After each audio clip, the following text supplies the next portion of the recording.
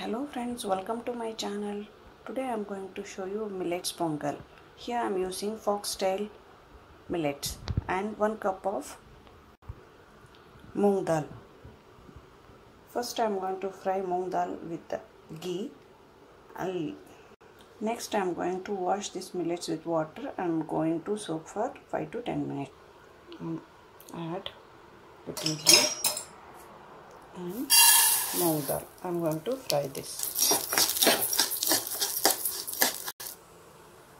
Now it is done. I am going to keep the cooker. I will add moong dal.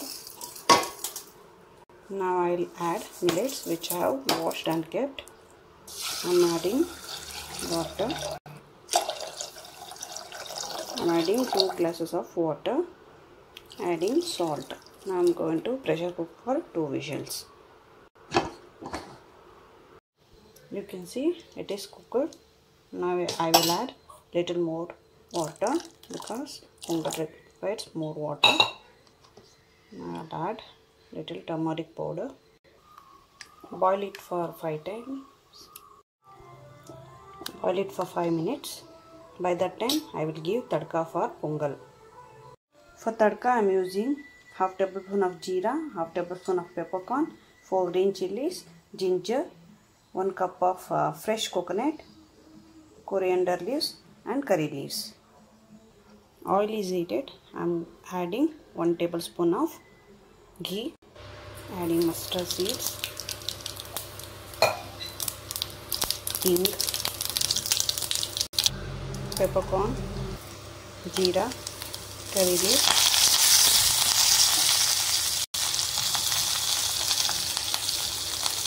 grated ginger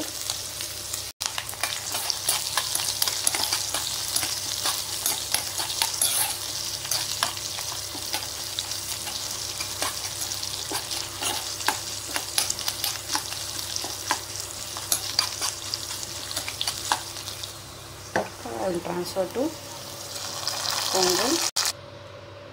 I am adding coconut,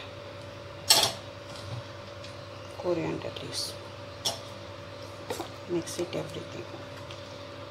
Cook for 2 to 3 minutes. You can see healthy millets pongal is ready. I am going to transfer this into a serving bowl. Next pongal is ready. You can serve this with chutney. If you like my recipe please like share and subscribe. Thank you